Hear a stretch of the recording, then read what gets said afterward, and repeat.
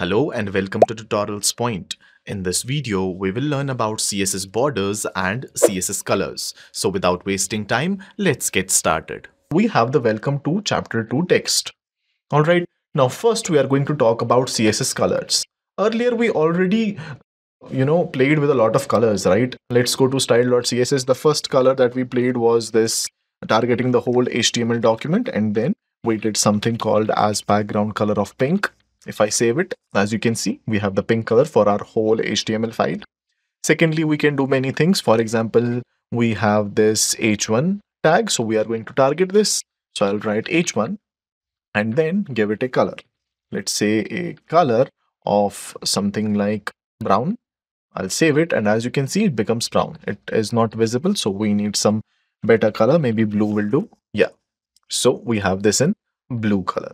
All right, so basically we can use multiple colors to design our web pages. For example, similarly, we can have a div and this div can have multiple things. For example, an h2 tag saying this is a div and it can also have a paragraph tag. So a paragraph tag, let's write some major text. In basically in VS Code, you can write lorem and then the number of words you want. So for example, 30, it will give you random 30 words when I hit enter, something like this. I'll save it and we have a heading and then we have some paragraph text. All right, we can even target this one. For example, for the H2, I want the color to be white. I save it and as you can see, it becomes white. Similarly, for the paragraph tag, I want some different color. Let's say I want the color to be aqua. I'll save it and it, and it becomes aqua. It's not really visible, so let's just change it to something else. If you hover over this color, as you can see, you can just select it from the bar as well. Something like this, right? So let's have some maybe yellow color. I'll save it and it becomes yellow. It's really not visible, so let's just keep it to black, right? So this is how we can use colors. And these and there are not only these red pink blue white green color in css there are actually a lot of colors in css for example instead of the background color to pink i can write something right red so it becomes red or maybe a good color is tomato. Light red i'll save it and as you can see it becomes the tomato color. We have many other color here as you can see, you can hover over here and then you can select the color and from here you can select the transparency. For example, I'll write this. As you can see, it becomes less transparent. Okay, so we have these different types of color. Let this be to pink now. So using background color, we can uh, specify the background color of an element and using just the color property, we can specify the text color basically, right? Now this, this is a div is not visible in white. So let me just remove this styling and yeah, it's now visible in black. Now, we can also have borders for our elements. We have h1, we have div, we have h2, a paragraph tag. We can have, for all of these, we can have borders. For example, if I want to have a border for this h1 welcome to chapter 2, what I'm going to do is I'm going to write a property called as border. Now inside borders, we have to pass three values. First will be the size of the border. For example, I want it to be 10 pixels. Second will be the type of border. There are different types of borders. Uh, if I type it, as you can see, we have something called solid and then I can size color of the border. In this case, let me write black for now. And if I save it, as you can see, we have a border which is 10 pixels in size and it is of solid type and the color is black. We have multiple types. We have a dotted one also, something like this. If I save it, as you can see, we have a dotted border. We can also change the size. For example, instead of 10, let me write 2 pixels. And as you can see, it becomes small. Let's now keep it solid and we have black. And we can have multiple colors, for example, blue, right? Something like this. Now, let's say for the div, I want to give it a border. I will simply say border and uh, then basically here I'm going to write let's say 1px and then write solid and then write red. If I save it as you can see our div has a border of red color that has a width of 1 pixel and it is of type solid. Now you will understand more about borders when we talk about CSS box model in the coming videos. Now after the borders, we are going to talk about various color formats in CSS. We already know that this basic names of pink, blue, red, green, we can use all of these. But there are actually multiple types of formats for colors in CSS. First one is the simple names that you have this pink, blue, red, but there are also other values. Let's first talk about the RGB values. Now, for example, instead of this background color pink, what I'm going to do is I'm going to type RGB. Now this RGB stands for red, green, blue. All right. Once we do that, if you hit enter, as you can see, we have three values. Uh, one first is of the red, second is of the green, and third is of the blue. Now, for example, if I write 0 for the green, blue 0, and for the red, I'll write 255. If I save it, it becomes red color. That means if we have 255, the first value of red, it will be red color. Now, if I put it to 0 and save it, it is black color. Now, if we only specify the green's value as 255, we save it, it becomes green color. Now, if we only specify the blue's value as 255 and 0 for all the two for the other two and save it, it becomes blue color. That is red, green, and blue, the short form for RGB. So basically, the RGB represents colors from 0 to 255. So how many colors would that be? Not 255, but 256 colors can be represented in this very format. So for example, I would select a random color here. Okay, let's select something like this, this light green. Okay.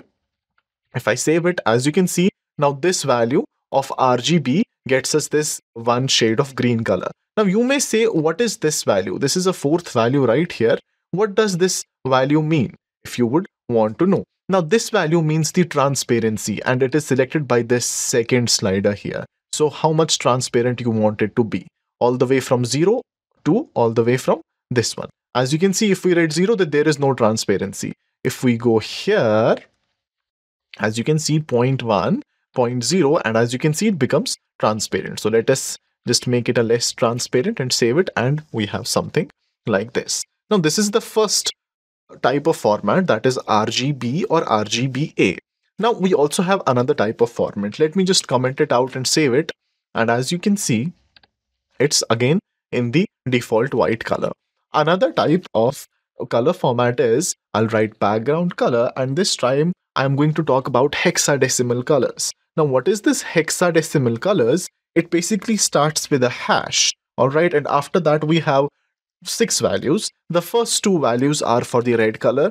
The second two values are for the green colors. And then the last two values are for the blue colors. Right. So for example, if I write something like F, F, F, F, so it's red for the first two, then the second two is green, and the last two will be blue. If I save it, as you can see, it's white color, no problem. Now let me just use the slider and have some different colors. For example, a blue color, something like this, or maybe a purple color. As you can see, it automatically changes, right? Oops.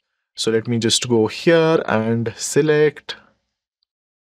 So if I select here, as you can see, we have some different shades. Let me save it. And as you can see, it becomes purple color. So this is another value. This is another format and it is called as hexadecimal colors. Apart from this, there is one other also that is called as HSL or HSLA colors. Now, this HSL basically stands for hue, saturation, and lightness. So let me just comment it out and let me show you the, this type of format as well. If I write color, sorry, if I write the background color, something like this, and then I write HSL and I hit enter, as you can see, it has three values. It has hue, saturation, and lightness. Now here we can have multiple values as well, right? So more on these colors, if you go to your browser and you simply search for uh, CSS colors and and you hit enter, you will find the MDN web docs. These are very good documentations for all the web development development related uh, technologies, for example, the CSS. As you can see, they talk about different colors. Then they talk about standard colors. As you can see, we have the black and what is the RGB, the red, green, blue value for it. We have silver color for, so let's, uh, we have this gray color. Let me just use this gray color in my CSS. If I just let me just comment this one out and here inside this background color I will use this gray color so I'll just copy and uh, paste it here and if I save it and go back to browser as you can see it becomes gray color. So we have a lot of colors here as you can see with their hex with their RGB hex values. As you can see they have a list of colors in fact so you can check and you can use multiple colors from this. And then it also talks about the transparency that I told you earlier. Okay? Now also there are many sites. For example there is one site called color palette something like this. If we search for it the first okay the color hunt you can call it. And there are actually multiple sites that that will give you random colors for your next website right? So if i click on this color hunt as you can see it gives us multiple combinations and we can directly just copy and paste. For example i liked this green color. Just click on it. It copied. And now let's go back to the browser. And here i'm going to paste the same one. And as you can see we need to have a hash here and a semicolon. And if i save it it becomes in that very color so here you can select multiple colors for your websites. Now here let me just uh, choose any random color. Let's say this color. Let's see how this looks on our website. If I save it yeah this looks better. So you can check out these one. I'll also have all the links related to the video topics in the description below. You can check them out. Let me close this. So we just talked about uh, different types of colors. That will be enough for this video in the next video, we will learn about CSS backgrounds, fonts and margin property. So make sure to subscribe to the channel, hit that like button and I will see you in the next video.